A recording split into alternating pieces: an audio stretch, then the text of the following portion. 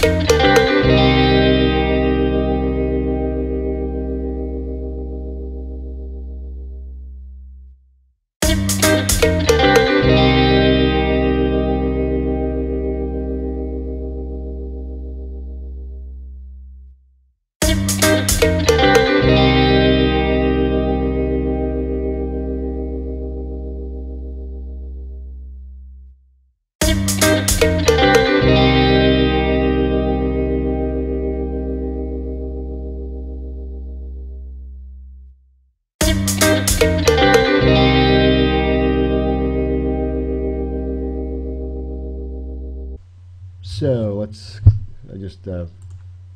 Out there for a second. So what gonna, I'm going to do is I'm going to do one more, and I'm going to create her face. And I'm really not going to do much on this. I'm just going to really whip it out quick.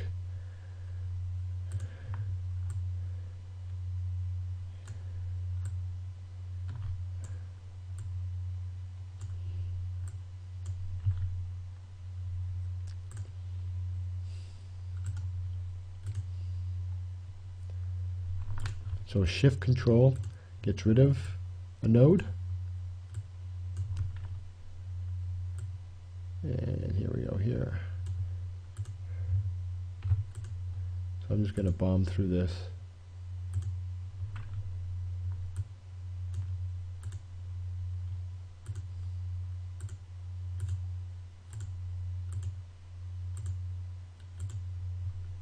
And I'm going to really go quickly.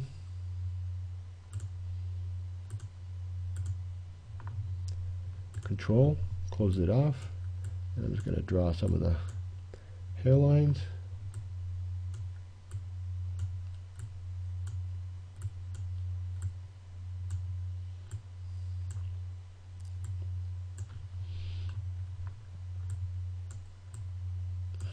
Right, we're going to click another one, shift click.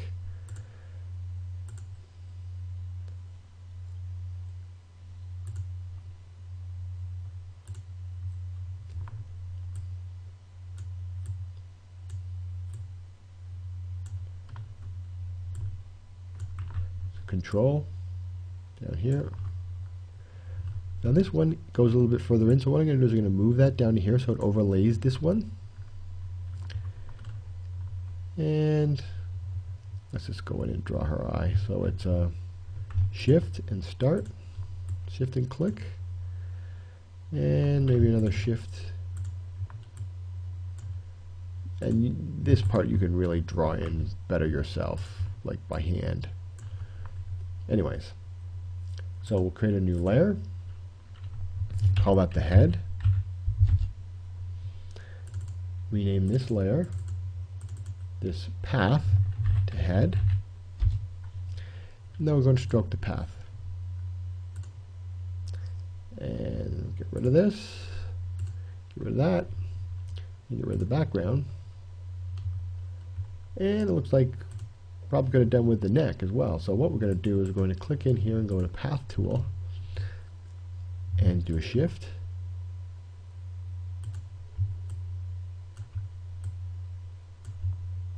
And move these guys around. And maybe add a bit of hair.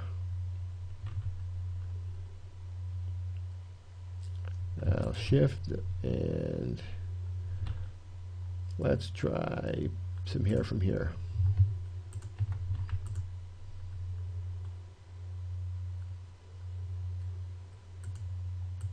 Move that to there, bring that in here, bring this down here, get this guy moving over the line, so it's close to the line. Oops. Close to the line. That looks like it closed off there, which is not, it's okay for me. And we can come back here and we can then stroke the path again.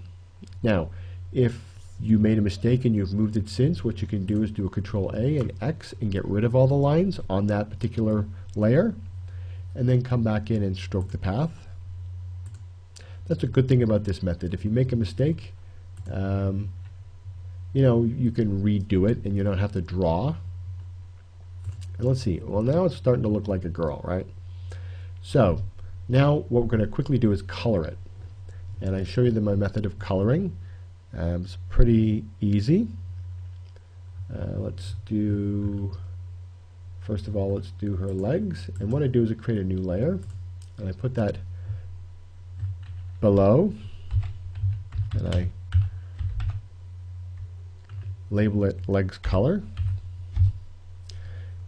And you can do one of two things. You could also um, make a folder, but I know folders don't work right now in uh, in uh, with my capture software, so I'm not going to do that. Um, Another thing I might you might want to do is you might want to close off these areas and draw across here.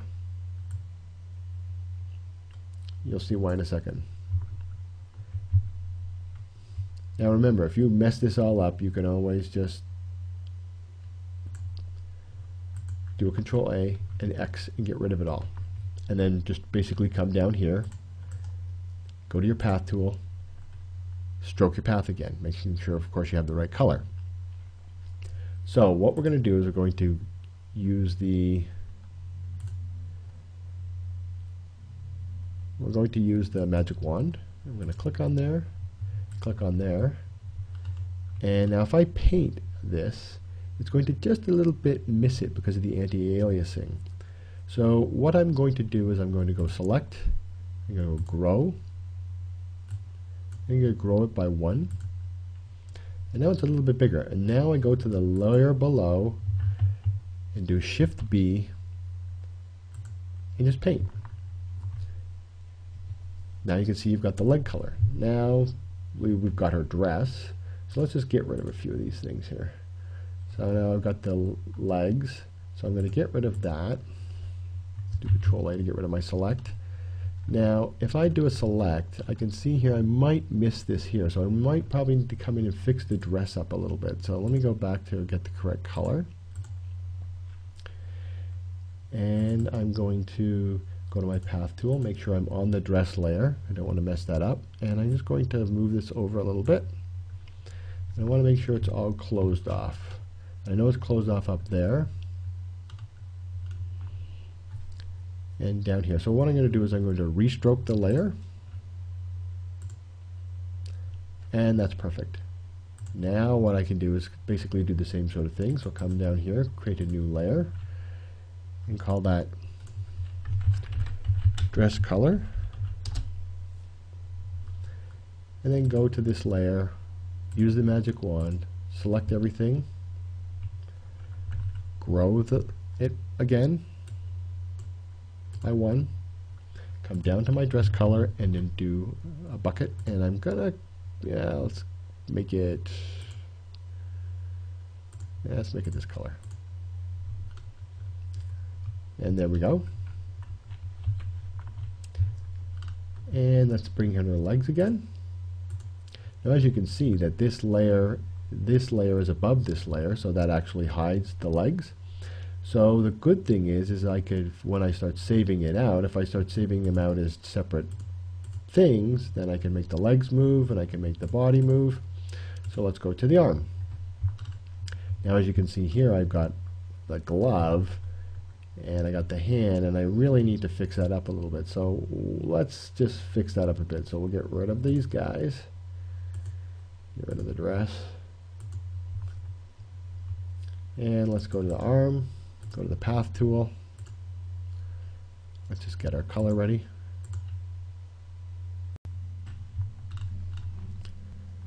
Now we're going to need to draw a line across here, so I'm going to shift click out here. And I'm going to come across here and click, and then I'm going to go down here. Now I need to come in and move this here, so let's put it there. And then move that there. And I'm going to come up and fix this bit.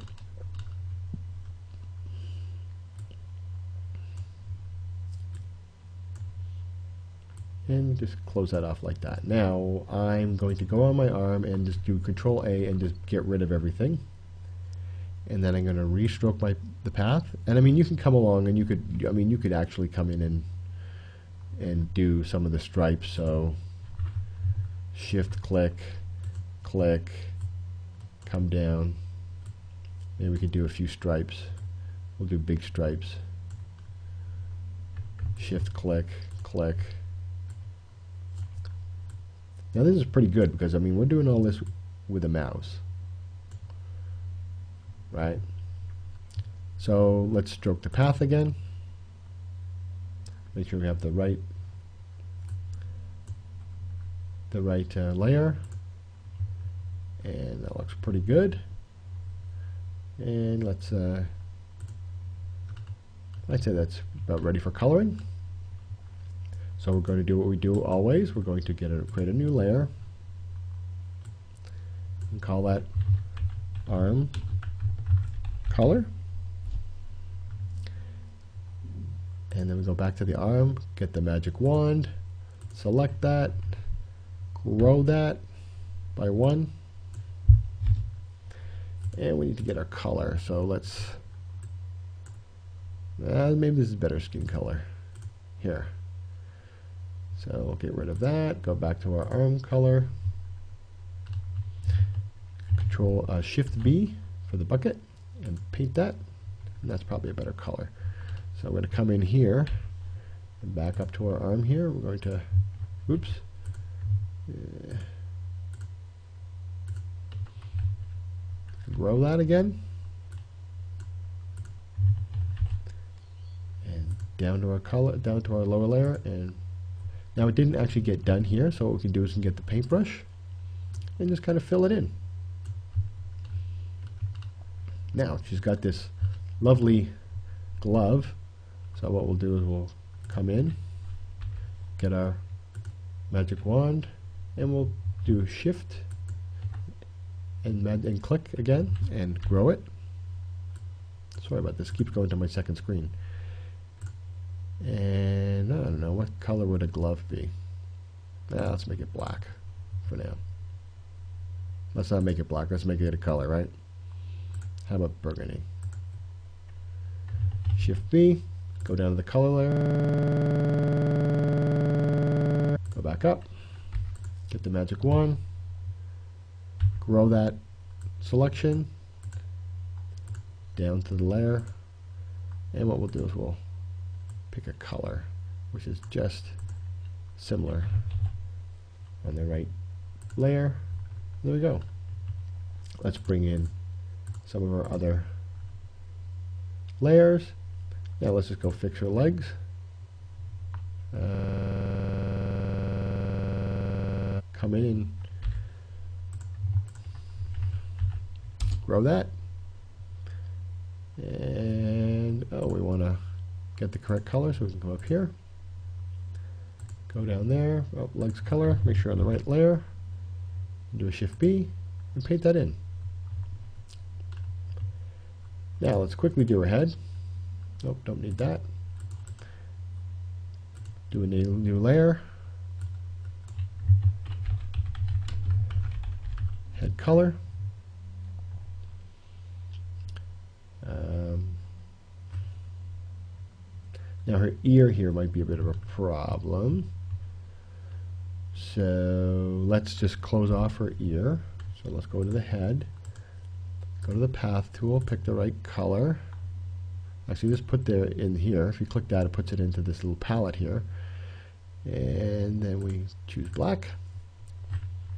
And let's click on this one and click here and we're going to come in and just basically move it down here. Then we're going to stroke the path. Oops, we're on the wrong layer, for one thing. So we undo that and stroke the path again. And what's going on here? So I would think I've got a selection going on somewhere. Yes, I do, down here. So basically do Control A, and now we can stroke the path.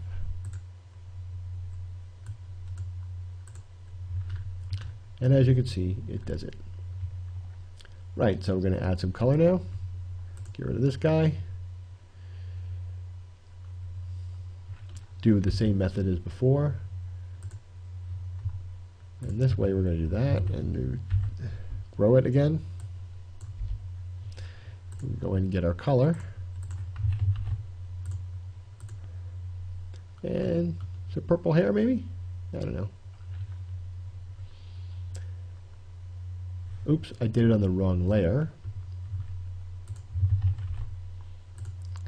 You don't want to be doing it on the on your line layer. But you know, the way this method, you can always wipe them all out and redraw them. So this is the great thing about this method. It's not permanent. Plus, because you have these um, these things, what are they called? The paths. Sorry.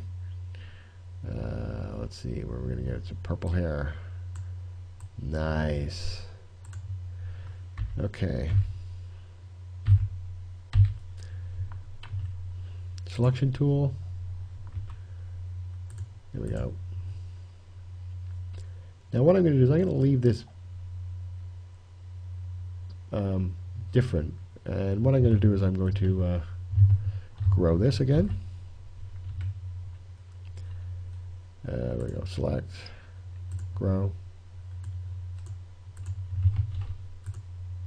There's a purple hair. Now what I'm going to do is come down here and I'm, oops, wrong layer.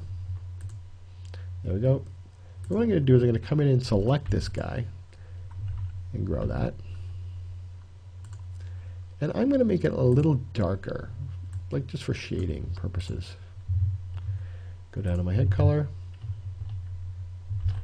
bucket tool, and see it's just a little darker. And I can do that as well for the neck.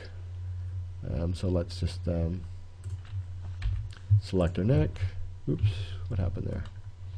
I have a feeling what's going on here is we have nothing to close this off.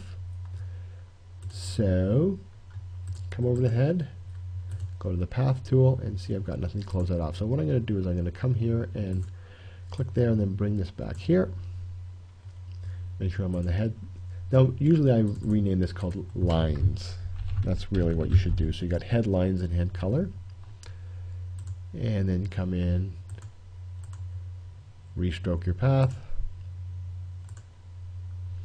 And now when I select it, it selects that area, grow that by one. Let's get our skin color. We're going to make it a little darker.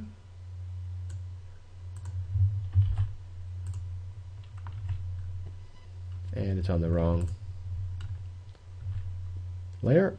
So go to head color. And there we go.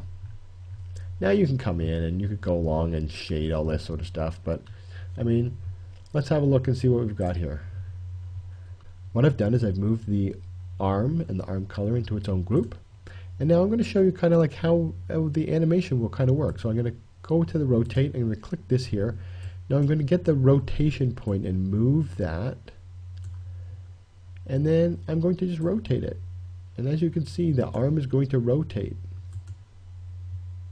And it will go through the two layers. And there you go. So now you can see that it's this part will rotate. Now you can do that with the legs or the head now. Probably what we should have done with the head is we might have wanted to make the neck come down a little bit here. Um, but let's put it in its own group and see what happens. Okay, I'm back. Um, what I've done is moved the head, the dress, and the legs into their own um, groups. This is a layer group. And this is good for when you want to save it. So, you know, you wanted to save the, the head, you save the head, and you want to save the arms, save the dress, legs. Now, I would like to probably may, maybe move the head. So let's go and click here. We want to move the rotation point to around about here. And let's move it up. Now here you see I got a bit of a problem. So unfortunately because of layering the head is on top. Now if we move it behind the dress which I can't do, yes I can do, like that, her hair is going to go behind so that's not going to work. So you might just have to put a piece, a couple pieces in here or something. Uh, doesn't always work, but what it will do is you will be able to move it forward. We should be able to pivot it down like this. Oops, wrong. Wrong layer. Let's try that again. Pivot it down. Now this is over the top, so you are going to have some problems, but like in Synfig you can get different layers and attach them to bones, so you can actually make different layers um, and put this behind and put this on top or make like a hair layer and then make like a face layer. Anyways this is just showing you how to do stuff you know how to this is more of a painting uh, without a mouse and without sorry painting with a mouse. So let's see if uh, we can move the legs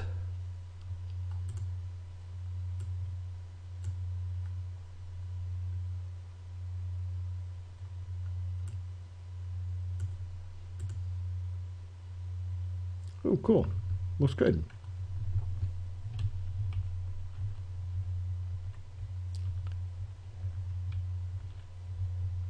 Now, one more thing I'm going to show you, and this is just for testing, so I'm going to have to stop again. Okay, what I've done is I've created a layer group called upper body and moved the head, arm, and the dress into it. Now when I go and do a rotate, this is just kind of a simulation of animation in a sense. Move her back and forth. Notice her legs aren't moving, just her arms.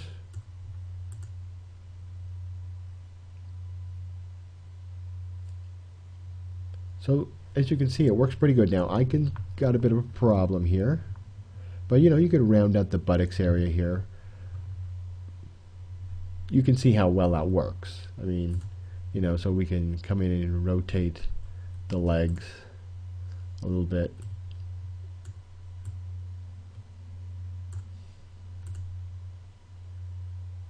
And then we come and do the upper body.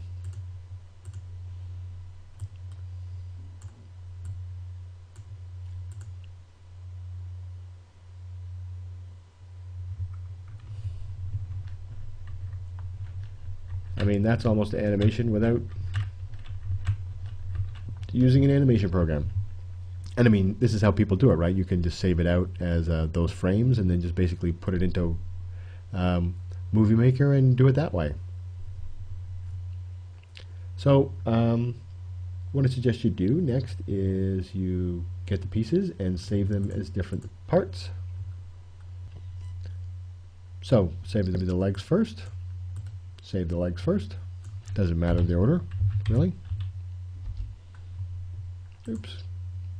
I suggest you save them as PNG because then that also saves the alpha layer, which is basically clear, which means you can have a background, and the dress.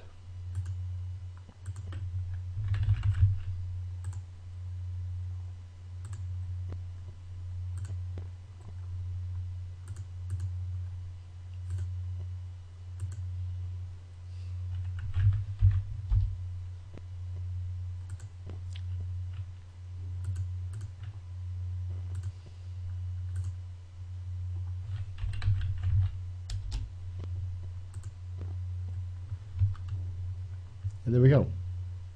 It's all ready for animation. Okay, so I've quickly brought th this little girl into uh, Synfig and created a skeleton around her, attached and some bones, and uh, here are the bones here. And then basically attach the head to this bone and the arm to this bone and the body to this bone and because they link up, the bone, this bone connects to that bone, this bone connects to that bone. When I move this, she completely moves.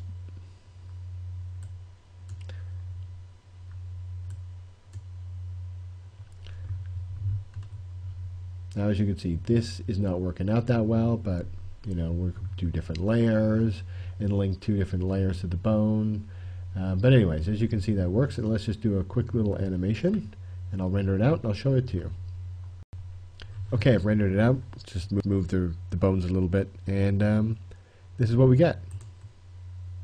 Now me, when I do animations, I don't really like to have smooth animations. I like to have more jerky animations. But anyways, um, so if you want more um, ways on how to do this, on how I've done use Synfig and other things, check out my other tutorials, um, and good luck.